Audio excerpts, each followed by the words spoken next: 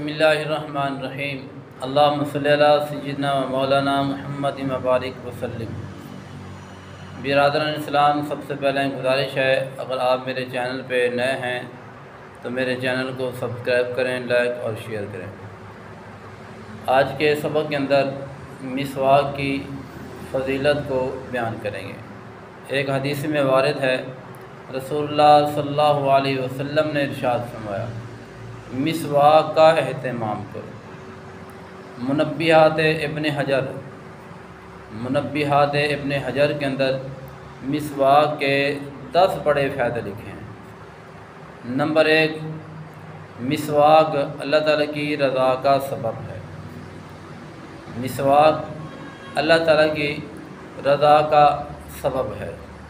Number دو، مسواک کرنے والے کو اللہ پاک محبوب رکھتے ہیں اور اس کے فرشتے بھی، ملائکہ بھی محبوب رکھتے ہیں۔ نمبر تین، مسواک مسواک منہ کی بدبو کو ذائل کرتی ہے۔ نمبر تین، مسواک منہ کی بدبو کو ذائل کرتی ہے اور منہ کی نمبر چار منہ کی صفائی کرتی ہے، نمبر پانچ منہ میں خوشبو پیدا کرتی ہے۔ مسواک کے مسواک سے منہ میں خوشبو پیدا ہوتی ہے۔ اور نمبر چھ، مسواک کرنے سے مسوڑے مضبوط ہوتے ہیں۔ کتنے بڑے فوائد ہیں۔ منہ میں منہ کی صفائی بھی ہو رہی ہے۔ اور بدبو بھی زائل ہو رہی ہے، خوشبو بھی پیدا ہو رہی ہے اور مسوڑے بھی مضبوط ہو رہے ہیں۔ نمبر سات، مسواک سے یہ بلغم قطع ہوتی ہے۔ یہ بلغم جس کو ہوتی ہے، مسواک کرنے سے یہ بلغم صاف ہوتی ہے۔ نمبر آٹھ، مسواک مسواک سے صفرا کی بیماری ختم ہوتی ہے۔ یہ صفرا آنکھیں جس کی پیلی ہو جاتی ہیں۔ ڈاکٹر حضرات کریں بھی ان کو صفرا ہے۔ تو مسواک سے صفرا کی بیماری ختم ہوتی ہے۔ نمبر نمبر نو، مسواک سے نگاہ تیز ہوتی ہے۔ جو لوگ نظر کا کہ میری نظر کمزور ہے، نظر کمزور ہے، تو وہ مسواک کا اہتمام کریں۔ انشاءاللہ یہ نظر تیز ہوگی۔ نمبر نو، مسواک سے نگاہ تیز ہوتی ہے، نظر تیز ہوتی ہے۔ نمبر دس اور آخری کیا ہے؟ کہ مسواک شیطان کو غصہ دلاتی ہے۔ مسواک شیطان کو غصہ دلاتی ہے۔ سبحان اللہ۔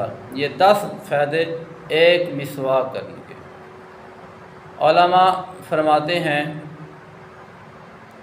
کہ مسواک کے ستر فائدے ہیں۔ جن میں سے سب سے بڑا فائدہ یہ ہے کہ مرتبہ انسان کو کلمہ نصیب ہوتا ہے۔ اور سب سے بڑی نعمت کیا ہے؟ مسواک جو ہے، انبیاء کی مبارک سنت ہے۔ من تمسا کبھی سنتی آئندہ فسادی امتی فلاح اجرمی عتی شہیدی۔ مشکا شریف کے حدیث ہے، حضرت ابو حرار رضی اللہ تعالیٰ عنہ سے روایت ہے۔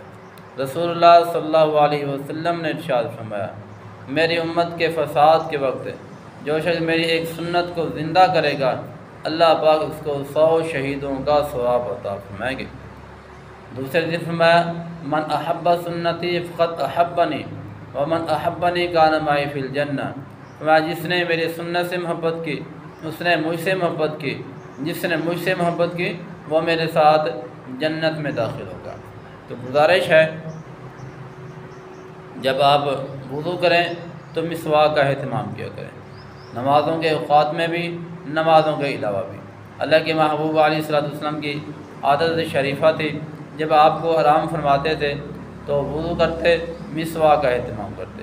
جب صبح کو بیدار ہوتے، وضو کرتے، مسواک کا اہتمام کرے۔ مسواک جو ہے، یہ بہترین عمل ہے اور اللہ کے نبی کی سنت ہے جس کا اہتمام کریں۔ دعا اللہ پاک ہم سب کو عمل کرنے کی توفیق دار